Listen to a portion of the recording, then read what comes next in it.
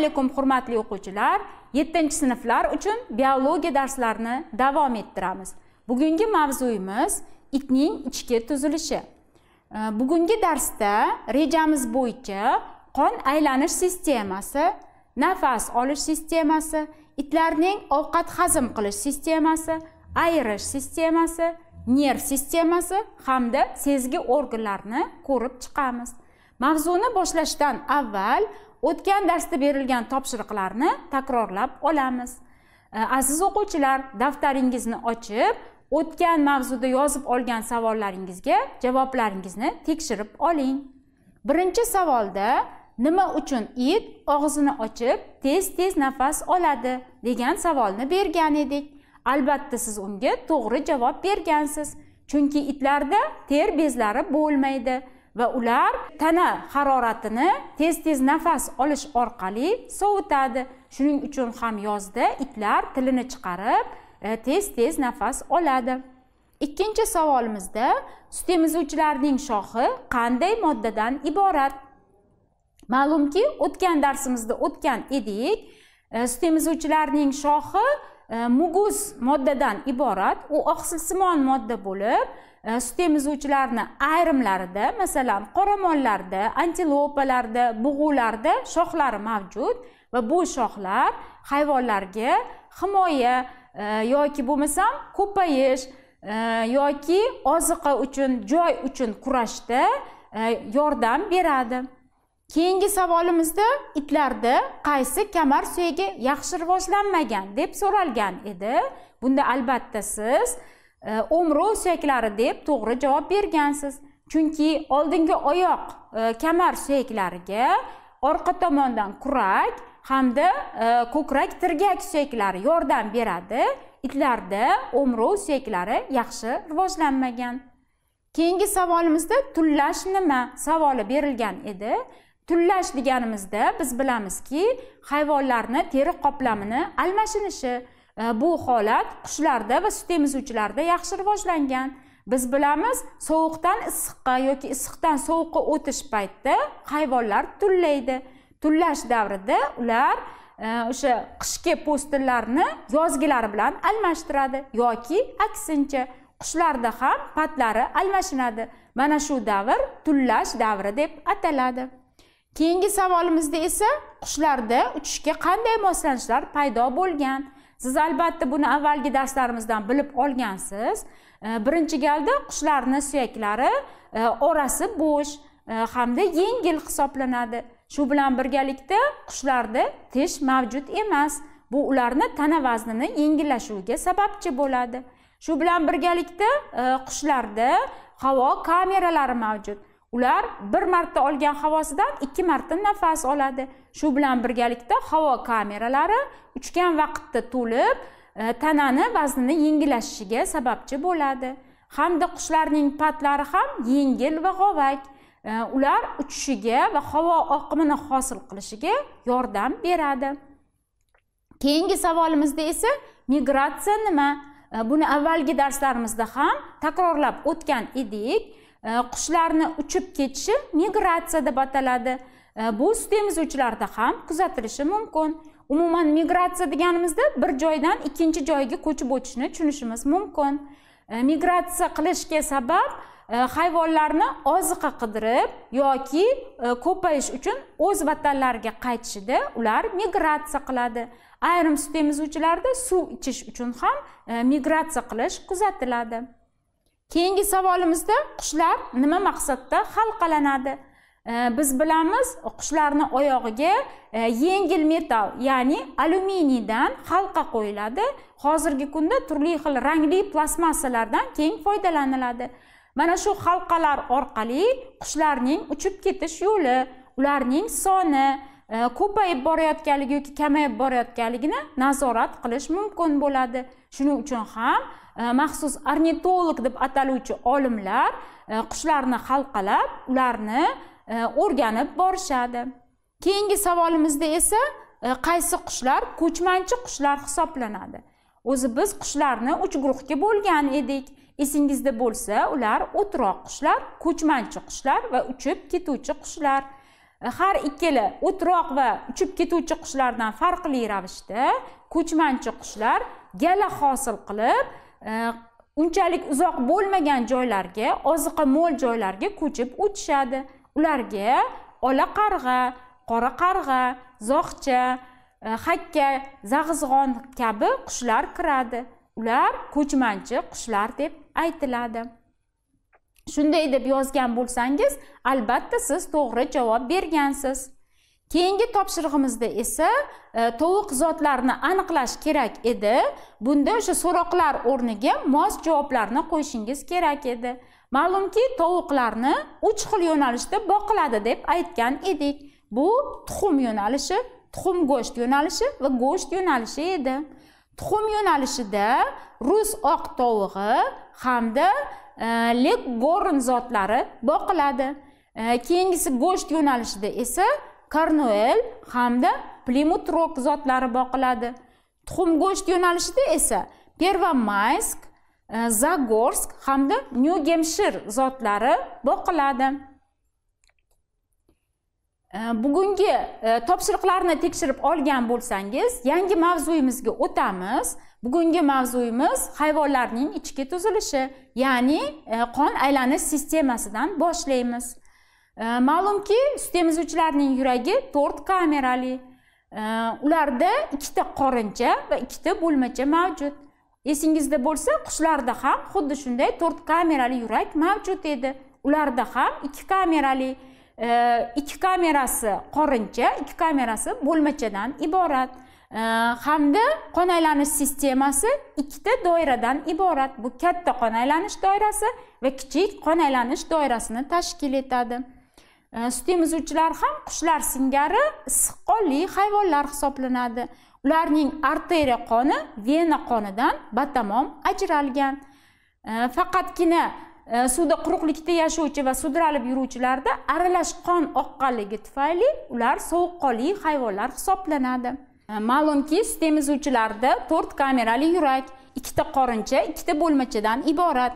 Yuragiga e'tibor berib qaraydigan bo'lsak ularni o'ng tomonida venoz qon oqadi. E, rasmda u ko'k rangda ifodalangan aslida venoz qon to'q qizil rangda bo'ladi. Chap tomonida esa arterial qon oqadi. Arterial qon yorqin qizil rangga ega. Ularda yurak kameralari o'ng va chap qorincha o'ng va chap bo'lmachadan iborat. Endi ikkita qon aylanish doirasi qon aylanish doirasi sizga ma'lumki doimo qorinchadan boshlanib bo'lmachada tugallanadi. Dastlab katta qon aylanish doirasini ko'rib chiqamiz. Katta qon aylanish doirasi e, chap qorinchadan boshlanib e, butun tanani aylanib organlarga kislorod berib karbonat angidridni olib o'ng bo'lmachaga kelib quyiladi. Bu katta qon aylanish doirasi. Demak chap qorinchadan boshlanib o'ng bo'lmachada tugallanadi.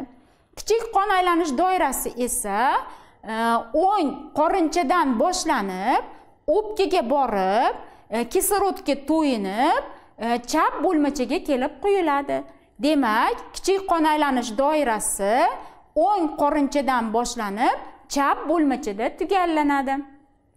Faqatgina sut emizuvchilarda qushlarnikidan farq qilib aorta ravog'i chap tomonga buralgan bo'ladi. Qushlarda esa bu ravoq o'ng tomonga buralgan. Faqat shunisi bilangina qushlar va sut emizuvchilarning qon aylanish sistemasi bir biridan farqlanadi. Qolgan qismlari esa o'xshash. Ikkalasida ham ikkita qon aylanish doirasi va to'rt kamerali yurakdan iborat. Keyingi e, organlar sistemamiz bu nafas olish sistemasi.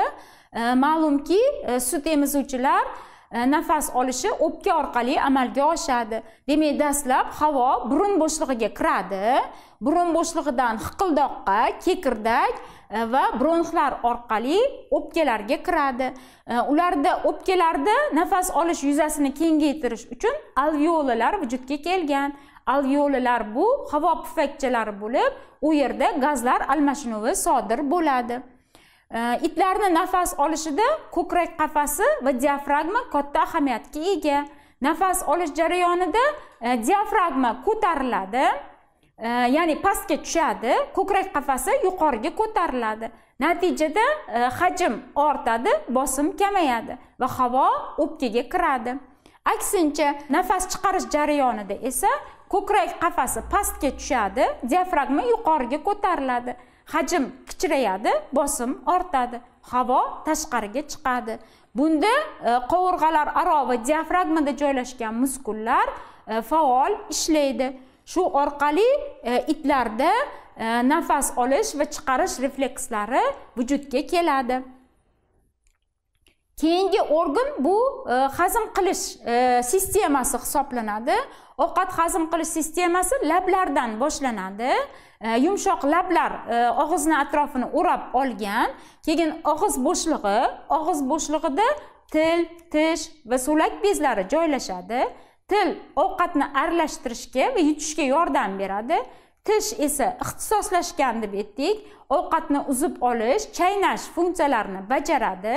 So'lak bezlari e, oziq bilan aralashib e, ma'lum bir miqdorda hazm qilib uni yutishga tayyorlaydi. E, keyin demak halqum qizilo'ngach oshqozon Э, ingichka yo'g'on va to'g'ri ichaklardan o'tib anal teshigi orqali hazm bo'lmagan oziq tashqi muhitga chiqarib yuboriladi.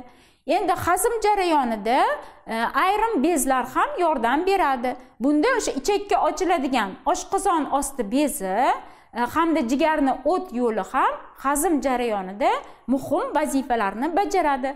Oshqozonda ham mayda bezchalar mavjud bo'lib ular ajratib chiqargan fermentlar ishtirokida oziqa parchalanadi. E, hazm qilish sistemasida hazm bo'lmagan e, mahsulotlar e, dastlab demak ingichka ichakda so'riladi hazm bo'ladi. Hazm bo'lmaganlari yo'g'on ichakda to'planib to'g'ri ichak orqali tashqi muhitga chiqarib yuboriladi. Itlarda o'sha nafas olish va qon aylanish sistemasi yaxshi rivojlanganligi uchun moddalar almashinuvi jadal boradi. E, va natijada e, sut emizuvchilar ham e, qushlar singari tana harorati doimiyligini saqlaydi. Demak ular ovqat hazm qilishdan olgan energiyaning ma'lum bir qismini tana haroratini saqlashga va qolgan qismini ma'lum bir ish bajarishga sarflaydi. Lekin e, sut emizuvchilarda qushlarnikiga nisbatan tana harorati pastroq ya'ni o'rtacha o'ttiz yetti o'ttiz sakkiz gradusni tashkil etadi. Qushlarda bu miqdor yuqoriroq qirq qirq to'rt gradusni tashkil etadi. Itlarning ayr sistemasiga keladigan bo'lsak ularda ham qushlardagi singari e, loviyasimon buyrakdan iborat. Loviyasimon buyrakda ortiqcha suyuqlik va azot qoldiqlari bo'lgan mochevina ajratib olinadi qondan filtrlanib o'tib siydik yo'li orqali qovuqqa tushadi va chiqarish nayi orqali tashqi muhitga chiqarib yuboriladi. Keyingisi nerv sistemasi. Sut emizuvchilarda qushlarnikidan farq qilib oldingi miya ikkita yarim sharlarni hosil qilgan va tashqi tomondan pushta va egachchalar bilan qoplangan. E, sut emizuvchilarda mana shunday pushta va egachchalarning bo'lishi ularda nerv hujayralarini soni ko'pligidan hamda ularda ma'lum bir funksiyalarni bajarishga javob beruvchi markazlar vujudga kelganligidan dalolat beradi. E, lekin ularda ham e, bosh miya xuddi qushlardagi singari beshta qismdan iborat. Ya'ni oldingi miya oraliq miya o'rta miya uzunchoq miya hamda miyachadan iborat. Orqa miya esa itlarni harakatini amalga oshirishda muhim ahamiyatga ega. Qushlardagi singari e, sut emizuvchilarda ham uzunchoq miya hayotiy muhim organlarni ya'ni nafas olish hazm qilish qon aylanish sistemalarini boshqaradi. E, faqatgina e, farqi e, o'sha oldingi miyada pushta va egachchalarning vujudga kelganligi hisoblanadi. E, sut emizuvchilarda sezgi organlari e, yaxshi rivojlangan lekin barcha sut emizuvchilarda yashash sharoitidan kelib chiqqan holda e, sezgi organlari turlicha darajada yaxshi rivojlangan. Misol uchun itlarda yoki bo'lmasam o'sha itlar kiruvchi yirtqich hayvonlarda hid bilish organlari juda yaxshi rivojlangan. Hattoki odamnikiga nisbatan yigirma o'ttiz barobar kuchli rivojlangan. Ular har qanday narsani ham hidiga ko'ra topa oladi. O'z e, oziqasini ham hidiga ko'ra taqib qiladi dushmanini ham hididan sezadi. E, ularda hid bilish organlari yaxshi rivojlangan lekin mushuksimonlarda hid bilish unchalik yaxshi rivojlanmagan keyingi e, sezgi organimiz ko'rish deydigan bo'lsak ko'rish qushlarnikiga nisbatan biroz pastroq Э, qushlar juda ham yaxshi ko'radi.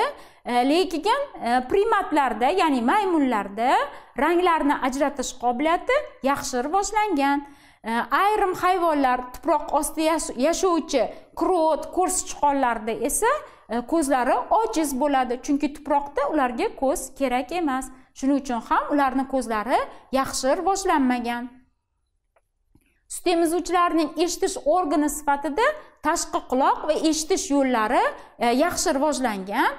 E, boshqa hayvonlarda tashqi quloq e, ya'ni quloq suprasi mavjud emas. Faqat bu sut emizuvchilarga xos. E, quloq uch qismdan iborat ichki o'rta va tashqi quloq. E, tashqi quloq ayrim hayvonlarda harakatchan bo'lib tovush qayerdan kelayotganligini aniqlashda ham e, muhim ahamiyatga ega. Yana sezgi organlari sifatida o'sha teri ham tuyg'u vazifasini bajaradi. O'sha teri orqali e, sut emizuvchilar suyuq qattiq yumshoq narsalarni bir biridan farqlashi mumkin. Yana ayrim hayvonlarda misol uchun it va mushuklarda o'sha og'iz va burun atrofida uzun qillar joylashgan bo'lib bu qillar ham tuyg'u vazifasini bajaradi. Ular yeyotgan narsasini bilish uchun albatta mo'ylovlarni tekkizib ko'radi. Shunga ko'ra e, ular e, o'sha dastlabki taassurotlarni oladi tuyg'u organlari yordamida oladi.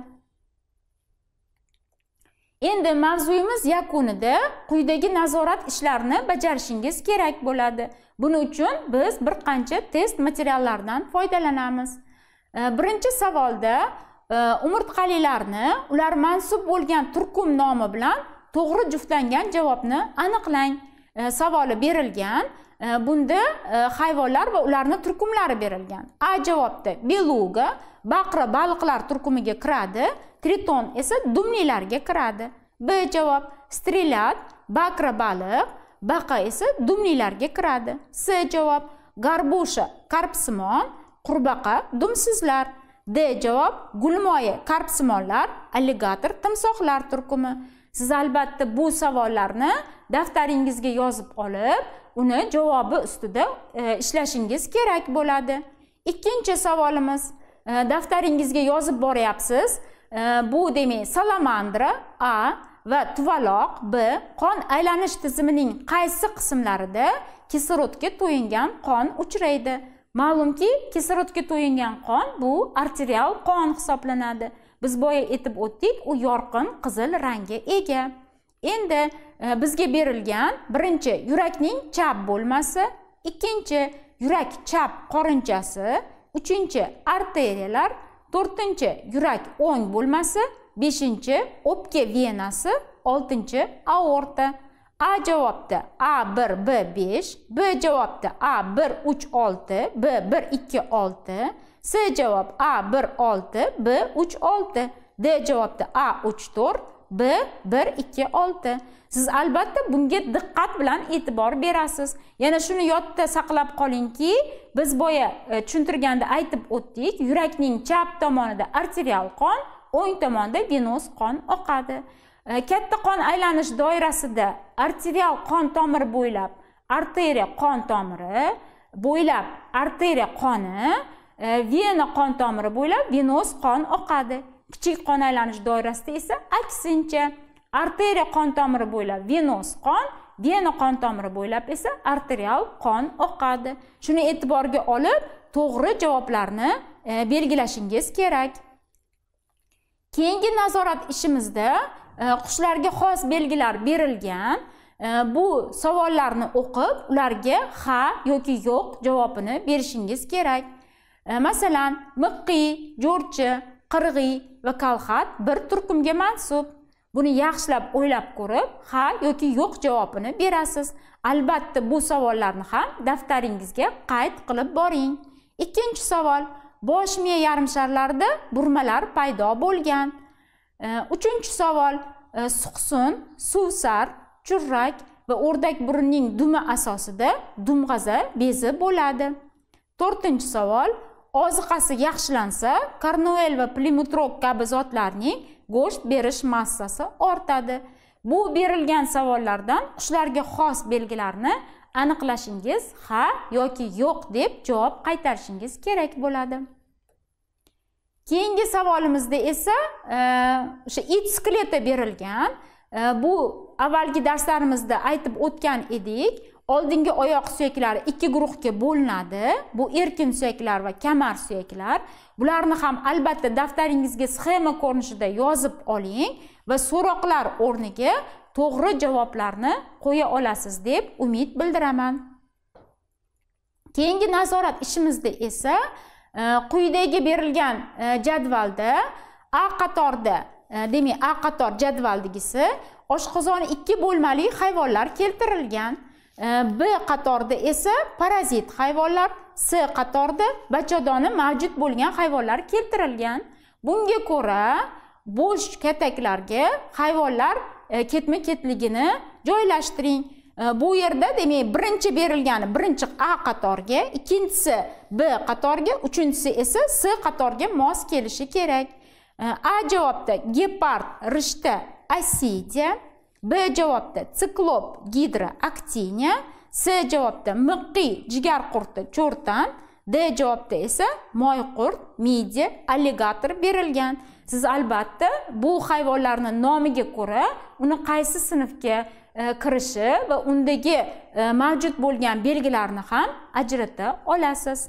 Bu e, biroz sizga qiyinchilik bildirishi mumkin e, lekin siz albatta buni uddalaysiz yana darslikni bir yuz yetmish birinchi bir yuz yetmish to'rtinchi sahifalarni o'qish hamda mavzu oxiridagi topshiriqlarni e, bajarishingiz kerak bo'ladi.